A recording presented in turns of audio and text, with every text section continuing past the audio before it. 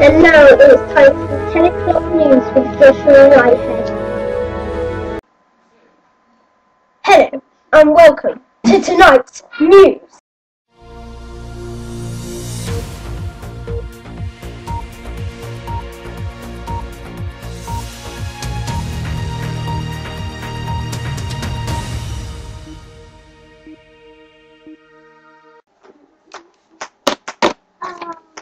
Hello and welcome.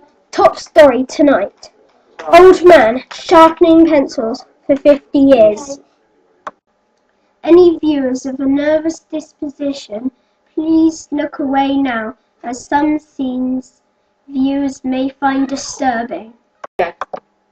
Hello, we are at the house of the man sharpening pencils for 50 years. He is just over here.